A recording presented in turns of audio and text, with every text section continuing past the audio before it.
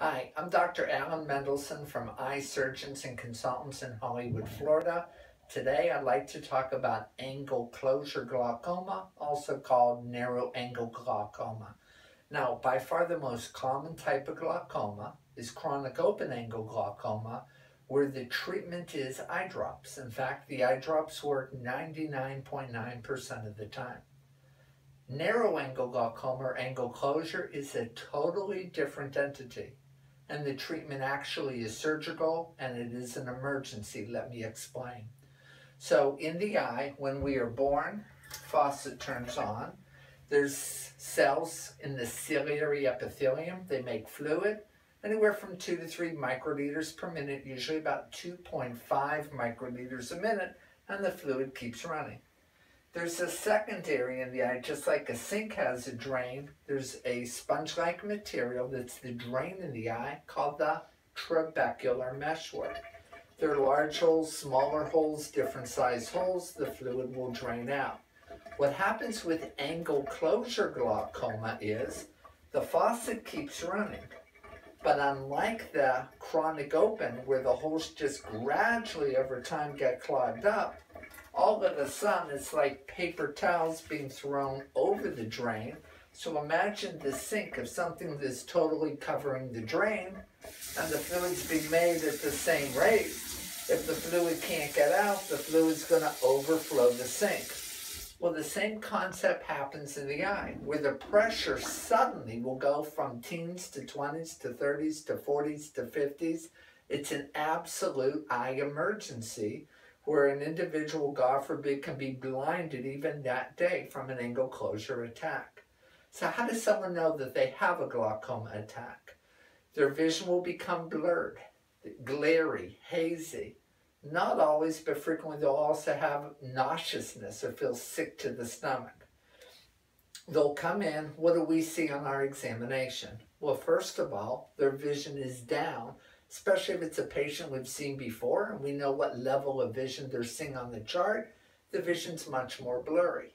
We check the pupil. Instead of the normal healthy appearing pupil, it's mid-dilated and it's a sluggish appearing pupil.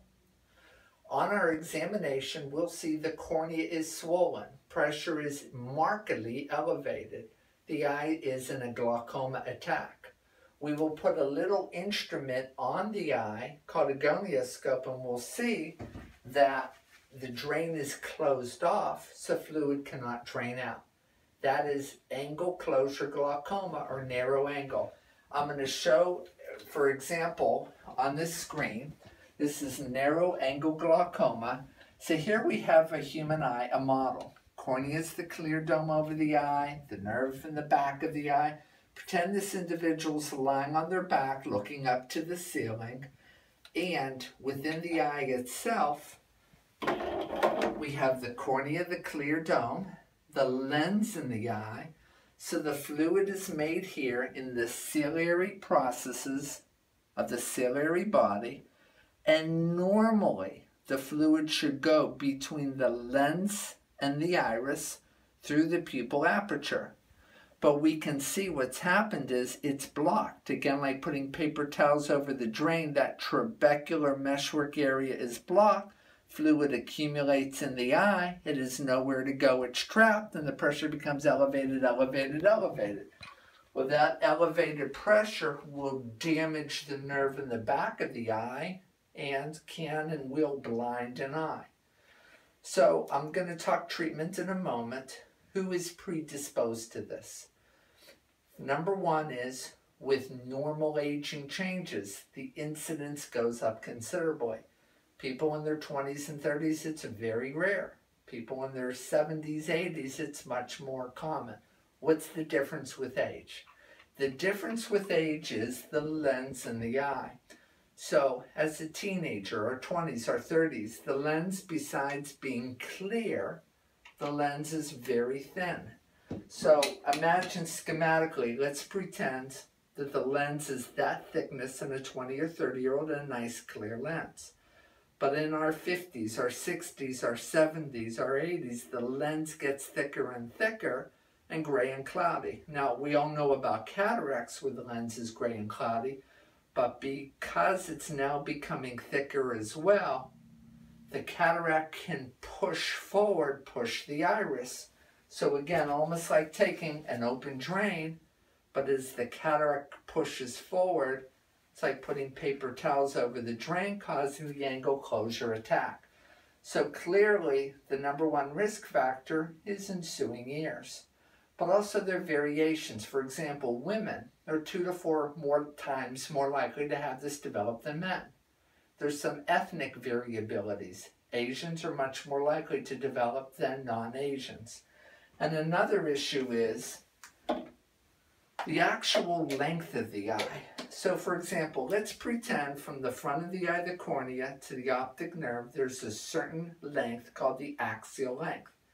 Some people, the eyes are a little bit shorter, like in hyperopes, people who are farsighted.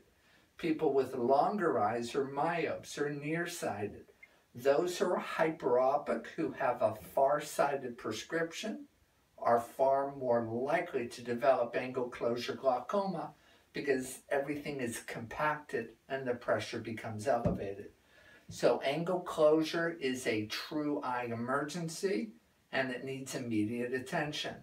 The eye drops used for chronic open angle glaucoma will not do the trick. Someone will lose their eyesight. One of the concerns is with the drop in vision is that I mentioned before the GI upset, the nausea, sometimes vomiting. Unfortunately, some people will think that they have other things going on. They'll either be stoic and tough it out, or they'll go to an urgent care center or an emergency room because all of a sudden they become extremely ill. But meanwhile, the guilty culprit is actually the eye with a markedly elevated pressure. So in the next segment, I'm going to talk specifically how we treat this emergency, but it's definitely an ocular emergency. Thank you very much.